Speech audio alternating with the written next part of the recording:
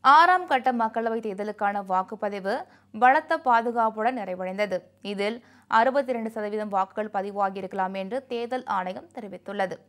நாடு முழுவதும் மக்களவைத் தேர்தல் ஏழு கட்டங்களாக அறிவிக்கப்பட்டது. இதில் ஐந்து கட்ட தேர்தல்கள் நிறைவடைந்த நிலையில் ஆறாவது கட்ட தேர்தலுக்கான வாக்குப்பதிவு பலத்த பாதுகாப்புடன் நடந்தது. ஏழு மாநிலங்களில் உள்ள ஐம்பத்தொன்பது தொகுதிகளில் வாக்குப்பதிவு நடைபெற்றது. பத்து கோடியே பதினேழு லட்சத்து எண்பத்தி இரண்டாயிரத்து நானூற்றி எழுபத்தி இரண்டு பேர் வாக்களிக்க ஒரு லட்சத்து பதிமூன்றாயிரத்து நூற்று அறுபத்தி ஏழு வாக்குச்சாவடிகள் அமைக்கப்பட்டிருந்தன.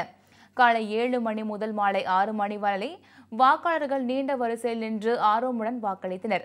வாக்குப்பதிவு நடந்ததையொட்டி அந்தந்த மாநிலம் காவல்துறை மற்றும் மத்திய படையினரும் பாதுகாப்பு பணியில் ஈடுபடுத்தப்பட்டனர். டெல்லி ராஷ்டிரபதி பவனில் அமைக்கப்பட்ட வாக்குச்சாவடியில் குடியரசுத் தலைவர் ராம்நாத் கோவிந்த் தனது குடும்பத்துடன் வாக்களித்தார். இதேபோல் முன்னாள் துணை குடியரசுத் தலைவர் ஹமித் அன்சரியும் ஜனநாயக கடமையை ஆற்றினார். டெல்லி அவுரங்கசீப் லேண்ட் பகுதியில் உள்ள வாக்குச்சாவடியில் காங்கிரஸ் தலைவர் ராகுல் காந்தி மற்றும் முன்னாள் காங்கிரஸ் தலைவர் சோனியா காந்தி பிரியங்கா காந்தி உள்ளிட்டோரும் தங்கள் வாக்கை பதிவு செய்தனர். இதனிடையே மாலை ஆறு மணி நிலவரப்படி சராசரியாக அறுபத்தி இரண்டு சதவீத வாக்குகள் பதிவாகியிருக்க வாய்ப்பிருப்பதாக தேர்தல் ஆணையம் தெரிவித்துள்ளது. மேற்கு வங்கத்தில் எண்பது சதவீத வாக்குகள் பதிவாகியுள்ளது.